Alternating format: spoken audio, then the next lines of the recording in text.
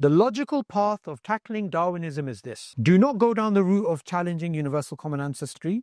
Because we cannot do that until we tackle the beast. Darwinism has been used to justify atheism. Atheism's logical deduction is universal common ancestry and Darwinism. It's like a positive feedback loop. What we do is that we take out the legs. If we can smash the mechanism, if we can show fundamentally the reason why the mechanism keeps surviving is because it relies on the philosophy, not the science. And the philosophy precedes the science. The science is a veneer, the wall, the foundation is the philosophy, is naturalism. Then, when you've ripped open that scandal, this hidden truth, then the possibility of non naturalistic explanations are there. So we can say something like this The origin of life, the origin of Adam, the origin of Isa, Jesus, once God is accepted as an explanation that God is real, God hasn't been undermined through Darwinism, then Allah says, Kun fayakun, be and it is, what do you have? You can have an origin of life, you can have another Adam, you can have another Jesus, you can have these.